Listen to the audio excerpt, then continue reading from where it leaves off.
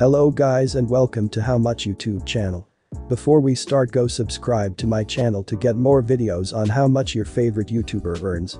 And click on the bell icon to get all notifications and never missing any new video.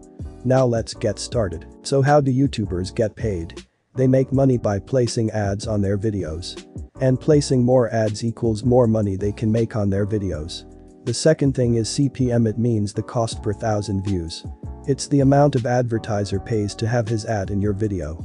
And they spend on average $4 per thousand views. And it's calculated based on how many people watch the video and from where they are watching.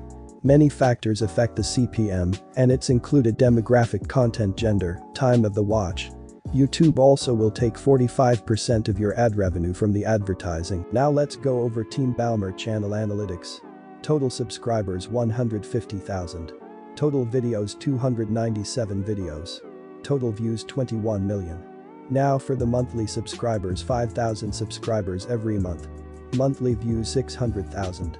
And now for the income. The monthly income will be 600,000 views multiplied by 0.004 equals $2,400 every month. And for the yearly income will be $2,400 multiplied by 12 equals $28,800. Thank you guys for watching. Don't forget to like, comment, and subscribe. And let me know who the next YouTuber you want me to do next.